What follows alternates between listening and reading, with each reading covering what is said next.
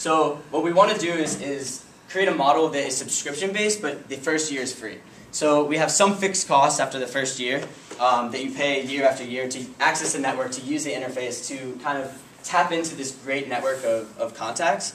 Um, but we need to make sure that they get that app for free so they can kind of buy into that and feel that they can't go back to that uh, old way of using the Apple Contact app. Um, here's somebody putting their app on their screen. So why invest? Uh, we, we think it's borderline simple. Um, we have a great team.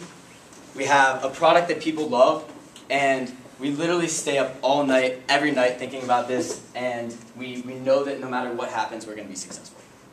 Thank you.